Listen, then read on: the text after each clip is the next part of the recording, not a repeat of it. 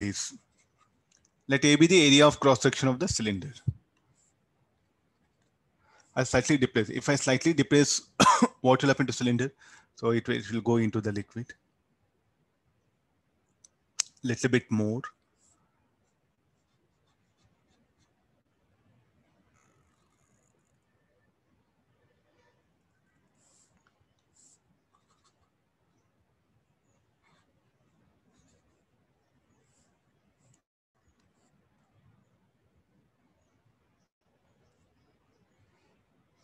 See you you must have again the background what actually goes on not like something mere equations will not help you. What actually goes on? So when you press it it will go more into the liquid. That's a general idea. It will go more into the liquid. Hmm, then you see this. Some violent it will go more violent into the liquid. And then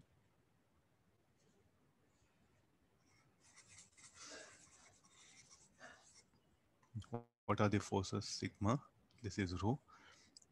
So earlier the buoyant force was balancing the weight of solid. So now FB dash. Now additional buoyant force will balance, so will be acting.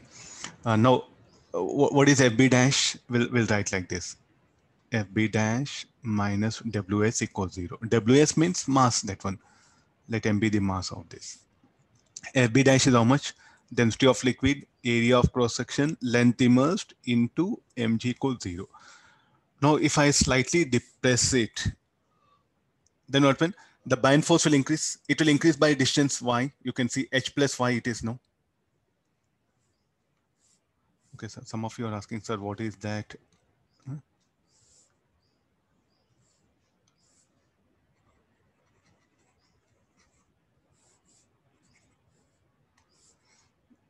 This is H, you know, so you can see now some length more it got into the liquid, no? So therefore the buoyant force will definitely will increase. So the new buoyant force, it will be equal to, no, MA equal to FB minus WS. MA is equal to what is FB, density of liquid, area of cross section, H plus YG minus mg.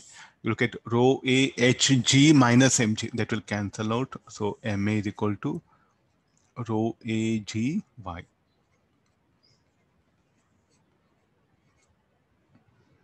And now with this acceleration proportional to negative of displacement. Hmm, that negative sign from where will bring it. Comparing this with the time period. T is equal to 2 pi by omega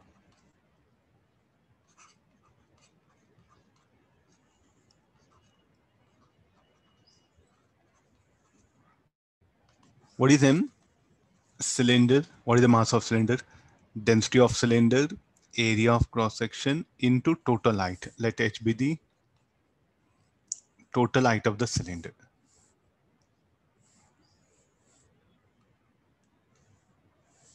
I think so many other things I brought it.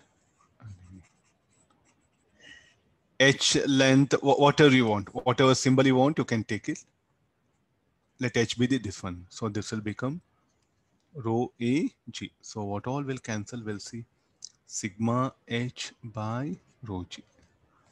So the time period depends on what? Independent of area of cross section.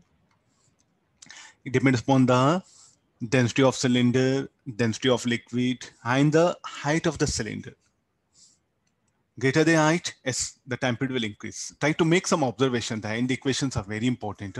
More than one option, see like in what actually more than one option, more than one option is what like the end answer, what you get, you should know how to interpret. So will the time period of oscillation depends upon how much you press this and release? No, it is independent of y. Am I right? This y is one centimeter or two centimeter or three centimeter. That will not determine time period. That is nothing but amplitude.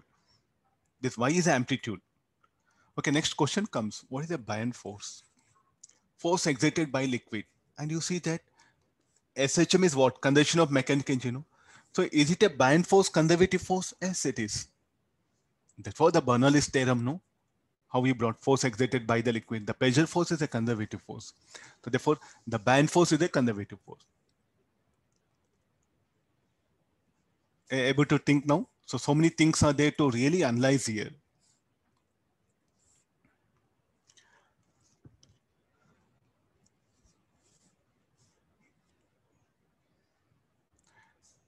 Getting some idea? Okay, now we'll take the next question.